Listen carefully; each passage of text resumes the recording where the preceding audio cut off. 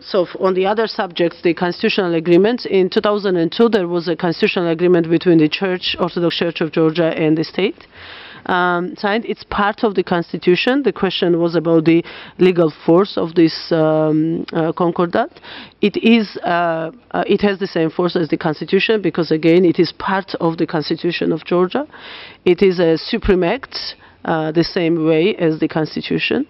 Um, I can tell you with full responsibility, being at that time one of the authors of this concordat, that there is no provision anybody in the world can cite in this concordat which is meant for discrimination of the others or which is giving any privileges to the Orthodox Church.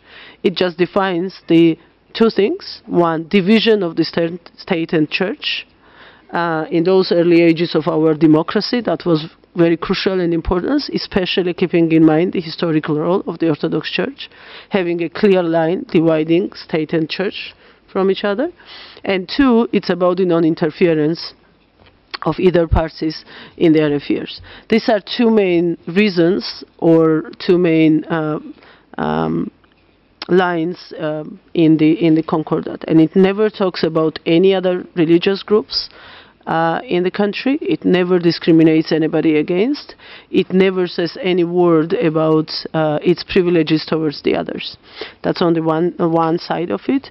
The other part, uh, and I believe that the other members of the delegation will talk about it even more in details about the. Um, uh, changes in policy of the current government uh, towards the uh, religious minorities and equalizing them both in financial and legal terms uh, to the uh, Orthodox Church of Georgia.